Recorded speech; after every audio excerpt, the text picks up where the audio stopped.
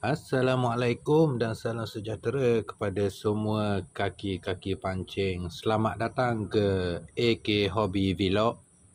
Okay, hari ni saya nak tunjuk satu tutorial untuk buat tuke belut. Uh, tuke belut ni uh, macam bubu lah, bubu untuk tangkap belut. Uh, macam ni contohnya.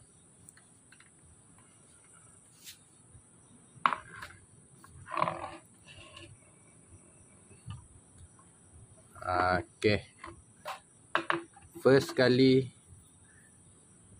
bahan-bahan yang diperlukan. Satu kain basah. Kain yang basah eh. Kain basah ni fungsi dia uh, untuk kita sejukkan paip selepas kita kemikkan ni untuk tutup ni. Uh, selepas kita kemikkan ni pakai api lepas tu kita siap kita buat kemik. Lepas tu kita layur dengan uh, tu kain basah. Nak bagi dia kerah. Nak bagi dia cepat. Sejuk. Kedua kata gunting untuk potong. Uh, marker pen. Untuk tanda dulu ukuran-ukuran dia. Lepas itu gaji besi untuk potong paip tape dengan ni. Uh, lighter yang api kuat ni. Untuk layu paip untuk kemekkan paip lepas tu kita ada botol kosong. Boleh pakai botol uh, lama ni botol selenda lama. Untuk buat injap. Injap pintu depan dia Okey, ni contoh. Tuki perangkap beluk yang dah siap. Yang saya dah buat. Okey. Simple. Dan macam biasa dengan trademark saya saya suka benda yang simple. Senang kerja tapi efisien lah. Okey ni contoh injap. Depan beluk akan masuk sini. Beluk akan masuk dia dah tak boleh keluar. Okey kalau kita tahan ada beluk kat dalam kita nak keluarkan beluk kita just tarik injak ni. Okey tarik kita keluarkan beluk. Lepas tu letak umpan kita pun pasang balik. Okey dan saya guna pipe dua saiz uh, 80 mm dan ni yang lama Yang lama saya buat Saya pakai pipe 65 Ni 65mm Ini 80mm Okey Sekejap lagi kita mula buat. Okey Mula-mula kita untuk buat penutup belakang dia Okey Kita ambil 1 inci setengah je. Satu inci setengah satu dua tiga empat.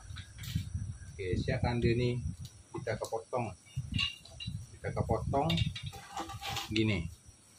Potong sini belah ni sini sini potong Okey, siap potong. Kita potong empat penjuru. Satu, dua, tiga, empat. Siap potong kita pakai lighter ni.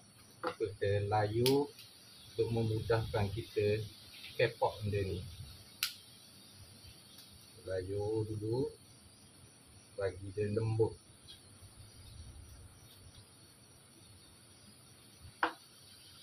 Okey, bagi dia lembut. Betulkan gini. Tutup. Ambil kain basah okey kita gosok gosok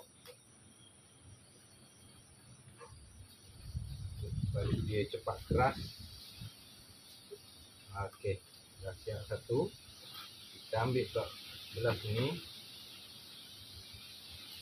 Jadi asa tentang dengan dia. Kita buat macam biasa kita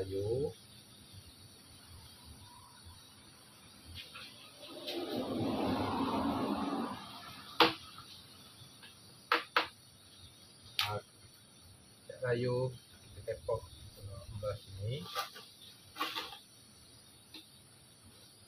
Okey, ambilkan basah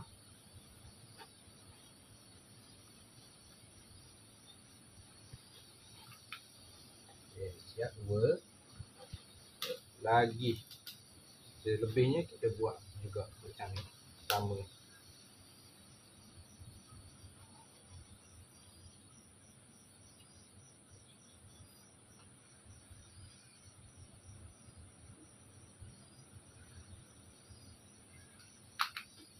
Okey.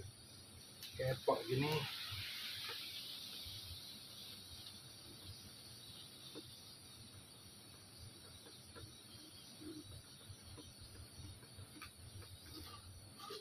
Satu lagi.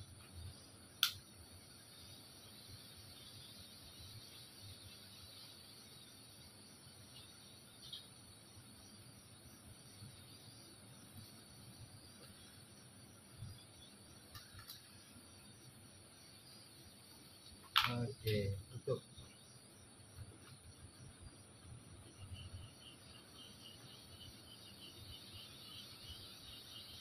Okey, dia akan jadi macam ni siap untuk penutup belakang.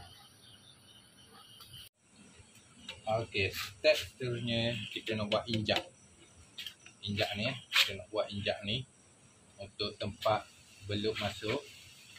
Okey, mula-mula kita kena uh, potong kotak untuk buat sampel dia dulu. Sebab kita try and error eh, lepas tu kita uh, pakai kotak. Okey, first mula-mula kita kotak kita potong biar sama besar dengan lubang. Okay, kita potong dulu. Potong cincai-cincai saja. Sebab ni untuk buat apa ni? Contoh dia dulu untuk test dulu. Okay, panjang kotak ni lebih kurang dia berdasarkan baik lagi panjang uh, hijab dia lagi senang lah. Kerja kita nak buat yang ni contoh saya pakai uh, berapa inci? 7 inci. Okey, 7 inci. Mula-mula kita akan buat masuk biar dia duduk segong gini. Dalam tu biar dia duduk gini. Okey, bila duduk itu kita akan nampak ada masih ada lubang, dia tak boleh jadi dia tak dia tak tertutup okey. Lepas tu kita dah okey dulu anggaran-anggaran dia. Okey macam mana? Contoh eh. Ambil separuh daripada kotak tadi. Ni kita biar dulu. Ambil separuh. Kita okey je dulu. Okey. Lepas tu kita potong.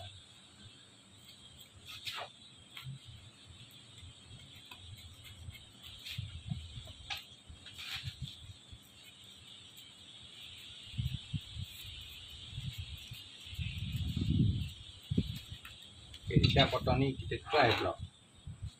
Bila masuk dia akan flash. Ok siap kita potong tadi. Kita try pula. Buat masuk segong ini. Ok kita tengok. Ada lubang lubang dah tak ada.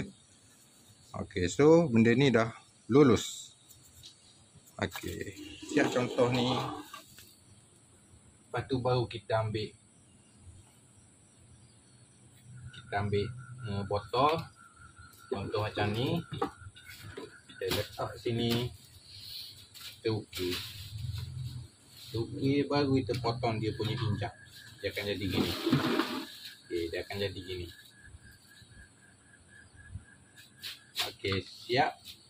Injak kita akan buat lubang contoh ni. Lubang ni. Untuk masukkan injak. Uh, injak ni akan masuk sini Okey, injak ni akan masuk sini. slash ha, injak dia akan masuk gini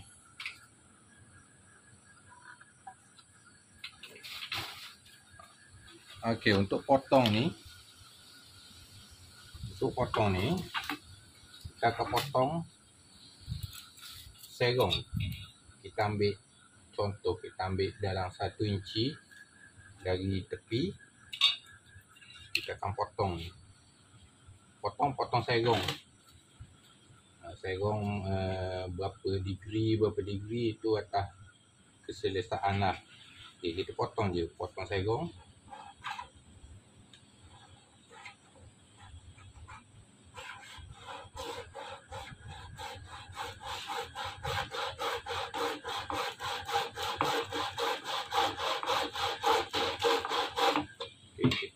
potong ni potong serong ni sampai separuh. Separuh pai. Ha, lebih kurang separuh pai kita potong. Siap potong kita cuci-cuci sikit untuk bagi muat benda ni masuk. Okay, bila dah masuk okey kita kepok-kepok sikit.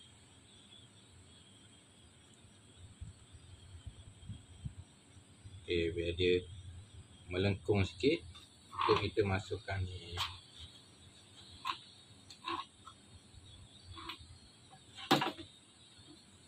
siap. Simple. Okey, ni contoh lubang yang kita buat yang saya buat kat belakang kat tempat penutup buat satu lubang. Okey, lubang ni buat biar selari dengan pintu dia duduk atas. Okey. Selagi dengan ni. Fungsi dia lubang ni untuk lubang angin. Uh, Lepas tu fungsi yang kedua Supaya senang apabila kita uh, letak uh, tukir ni dalam air Kita boleh tengok lubang ni uh, menandakan kedudukannya betul. Uh, Kedudukan air kena macam ni. Uh, Pintu tu atas yang lebihan apa injak dia atas. Okey biasa lagi. Okey ni contoh lubang yang kita buat yang saya buat kat belakang kat tempat penutup buat satu lubang. Okey lubang ni buat biar selari dengan pintu. Dia duduk atas. Okey selari dengan ni. eh fungsi dia lubang ni untuk lubang angin. Uh, lepas tu fungsi yang kedua supaya senang apabila kita uh, letak uh, tukir ni dalam air kita boleh tengok lubang ni uh, menandakan kedudukannya betul. Uh, kedudukan air kena macam ni. Uh, pintu tu atas. Yang lebihan apa injak dia atas. Okey, biasa lagi.